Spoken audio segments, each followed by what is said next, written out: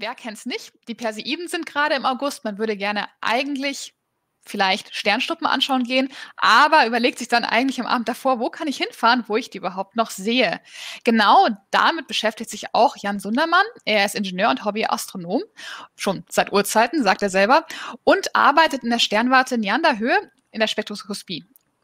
Jan, wir sind gespannt. Ja, prima. Vielen Dank für die Einleitung.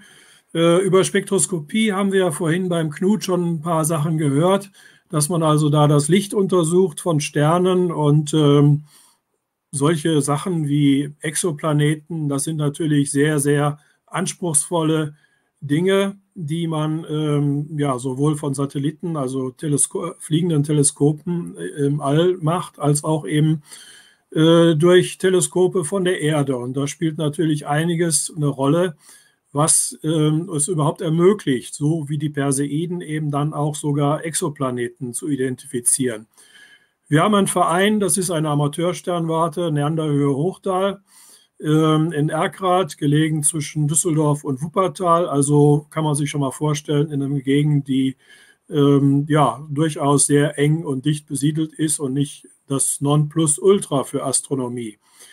Da haben wir eine AG gegründet und äh, hier sind die Namen unserer Mitglieder von der AG. Ähm, das Ganze, was ich jetzt vorstelle, ist eine Gemeinschaftsarbeit unserer AG und die ist auch in so einer sternlosen Zeit eigentlich äh, entstanden, die Idee, äh, dass wir uns mal mit der Lichtverschmutzung ein bisschen beschäftigen, denn wir brauchen ja einerseits einen klaren Himmel, aber andererseits eben auch einen sauberen Himmel, um gute astronomische Aufnahmen zu machen. Nun, jedem ist es sicherlich aufgefallen über die Jahrzehnte, dass der Nachthimmel nicht mehr so richtig dunkel ist und äh, was das für Einfluss hat auf Mensch und Tier und Umwelt, darauf kann und will ich überhaupt nicht jetzt eingehen, sondern wir haben uns diese Aufgabe gestellt, unsere Apparate mal zu nutzen, um diese Lichtverschmutzung etwas näher zu untersuchen denn sie stört uns bei der visuellen Beobachtung und sie stört uns natürlich noch viel mehr bei der Astrofotografie und äh, bei der Spektroskopie selber. Wie gesagt, die Sternwarte Neanderhöhe hier in der Mitte ungefähr gelegen, ein bisschen rechts von dieser Markierung, ähm, liegt ein Stück östlich von Düsseldorf, weiter unten der helle Fleck, das ist Neuss. Und oberhalb ähm, ist Duisburg. Also hier an der Rheinschiene sind wir natürlich in einem sehr dicht besiedelten Gebiet, was äh, uns diese Nachthelligkeit besonders ähm, ja, im wahrsten Sinne vor Augen führt. Das ist eine Karte, die ist, ähm, findet man im Internet unter der Adresse Light Pollution Map Info. Da kann man sich also für seinen eigenen Standort aktuelle Daten abrufen in so einer Karte. Also das wird alle paar Jahre wird das aktualisiert, äh, was dahinter steckt. Und äh, sich mal ansehen, wo ähm, in seiner Gegend es vielleicht doch ein bisschen dunkler ist oder wenn man wirklich mal ja, die Perseiden an einem sowieso hellen Sommernachthimmel beobachten will, äh, wo man hinfahren könnte, um dann äh, ja, Erfolg zu haben bei der Beobachtung. Aber so eine Karte, die gibt eben die absolute Helligkeit wieder des Himmels in einer klaren Nacht. Und dazu gibt es spezielle Messgeräte. In der Astronomie benutzen wir die Magnitude als Helligkeitsgröße. Ähm, und diese, diese Karte ist halt entstanden durch solche ähm, Messungen von verschiedensten Standorten. Was wir jetzt gemacht haben, uns interessierte jetzt gar nicht mal so direkt die absolute Helligkeit, sondern wir wollten wissen, was ist das jeweils für Licht, ähm, was sind das für Farben, die unsere Aufnahmen stören.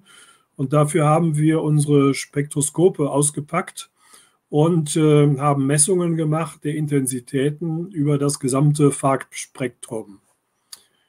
Das sieht dann so in etwa aus. Da oben diese grauen Streifen, das sind also mehrere Aufnahmen in verschiedene Himmelsrichtungen, die so nebeneinander gelegt wurden, indem wir also dann diese weißen Spektrallinien haben. Das heißt, die schon erwähnten Fraunhofer-Linien vorhin im anderen Vortrag von Knut, das sind ja dunkle Absorptionslinien, aber wir haben hier eben vor einem dunklen Hintergrund solche hellen sogenannten Emissionslinien. Und diese Bilder, die mit einer elektronischen Kamera erzeugt wurden, die werden dann ausgewertet über die Helligkeit und dann entstehen solche Kurven, wie wir sie hier im unteren Bild mal dargestellt haben. Wobei die wurden jetzt auch so wie die Bilder oben nebeneinander dargestellt.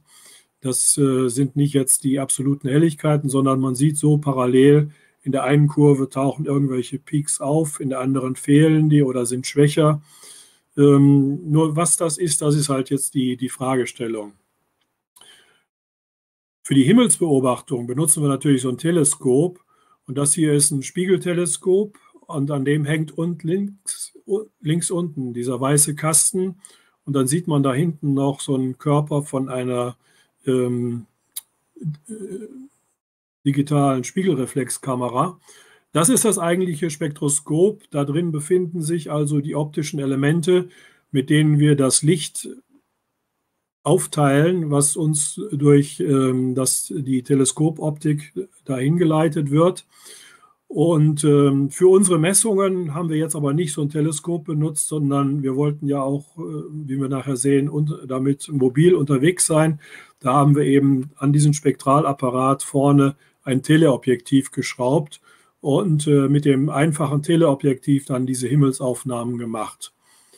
Aber im Spektroskop selber, das wichtigste Element ist ein sogenanntes Reflexionsgitter. Das ist also so ein Spiegel, in dem 200 Linien pro Millimeter eingebracht worden sind.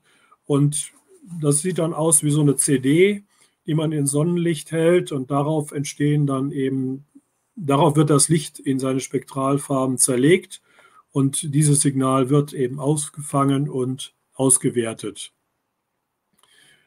wenigstens, sorry, so. dann noch mit drauf zu schauen.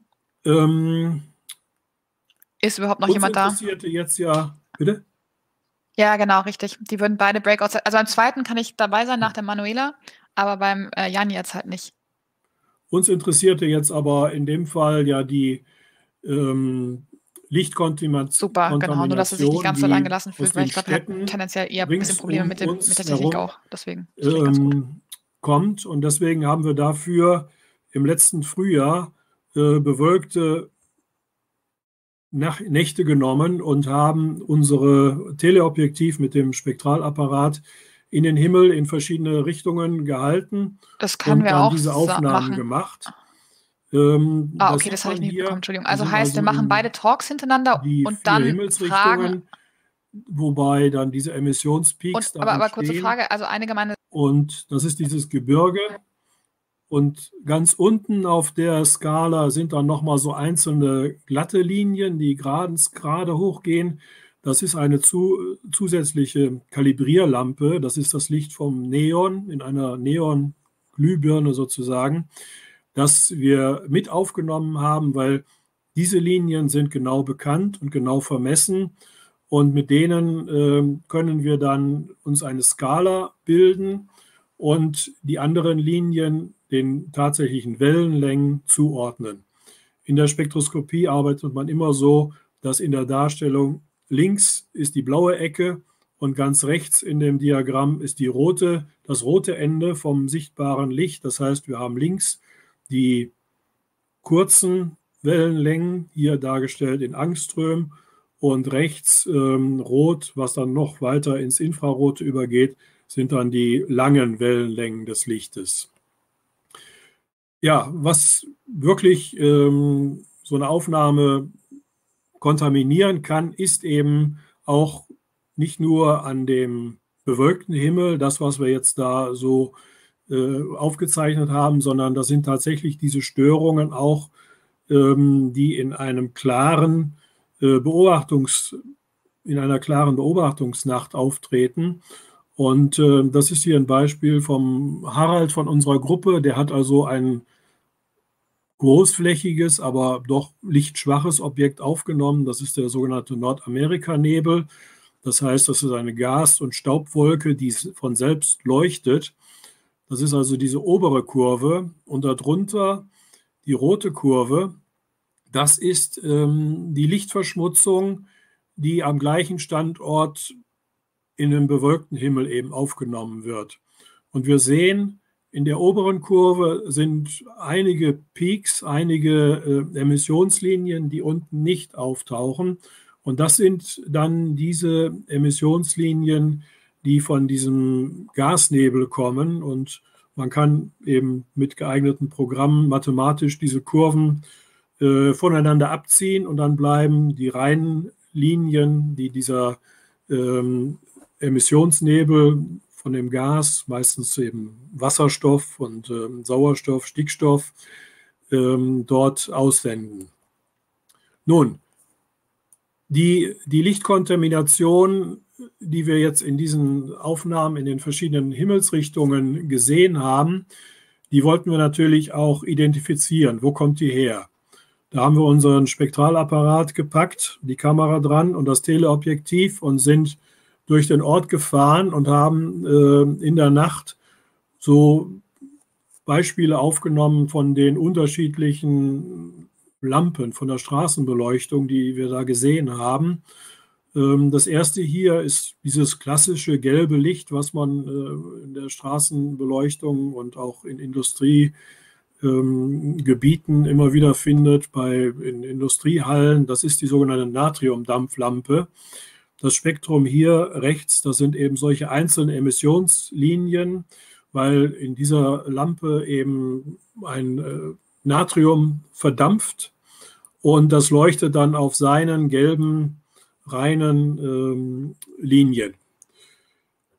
Ein anderes Beispiel, was wir gefunden haben, ist die, ja, die moderne Straßenbeleuchtung mit LED. Es gibt sowohl solche rein weißen LED-Lampen als auch welche, die so ein bisschen gefärbt sind, besonders an, an Fußgängerübergängen. Da sehen wir schon ein ganz großer Unterschied zu dem Bild vorhin. Diese LED-Lampe, die eben weil sie weiß strahlt, setzt sich aus einem großen Gebiet ähm, von de, des, des, sichtbaren Spektrums zusammen, hat hier auch im, im rötlichen Bereich so einen Peak, aber letzten Endes sind da drin alle Farben enthalten und es ist so eine, eine, eine, eine große, fast eine Normalverteilung von diesen Wellenlängen, sodass äh, man hier schon ahnen kann, okay, das ist schwierig, das irgendwie auszublenden. Dazwischen die Generation, das ist die Straßenbeleuchtung mit solchen Energiesparlampen, Leuchtstoffröhren, die enthalten ja auch zum Beispiel Quecksilber und das ist dann wieder ein Metall, was in dieser Lampe als Dampf vorliegt und so eine einzelne scharfe Emissionslinie erzeugt. Also wir haben sehr unterschiedliche, sehr unterschiedliche Arten von Emissionen von diesen ganz unterschiedlichen Leuchtmitteln, die in der Stadt rumstehen. Und diese einzelnen ähm, Spektren von diesen Lichtquellen haben wir dann genommen und mal diesen Bild von der gesamten kontaminierten, von dem bewölkten, kontaminierten Himmel zugeordnet. Und wir sehen, man kann ganz klar das wiederfinden. Der einzelne Peak dort oben von dieser Energiesparlampe oder auch unten den Bereich, wo das, das Natrium so ein paar eng beieinander liegende Linien hat. Das taucht alles in dem Licht auf, ähm, was wir vom bewölkten Himmel wiederbekommen haben und was eben auch dann in einer scheinbar sternklaren, dunklen Nacht in den Informationen wieder drin auftaucht. Trotzdem gibt es hier immer noch Linien, die wir nicht mit erfasst haben. Es gibt also noch andere ähm, Lichtquellen. Das könnte zum einen sein von Fahrzeugen, also Xenon, ähm, diese Halogenscheinwerfer, oder aber auch in Düsseldorf selber gibt es noch ähm, Straßen und ähm, in der Altstadt Parks solche ähm, Fußwege, die sind tatsächlich noch mit ähm, Gaslaternen beleuchtet, also wo Erdgas in der, in der Flamme an so einem Glühstrumpf verbrennt, eine alte Gas unter, unter Denkmalschutz stehende Gaslaternen. Die könnten auch hier mit drin sein. Aber das haben wir jetzt nicht so näher identifiziert, sondern wir wollten halt sehen, was ist da los, ähm, was für Lichter stören uns bei der visuellen oder auch bei der fotografischen Aufnahme.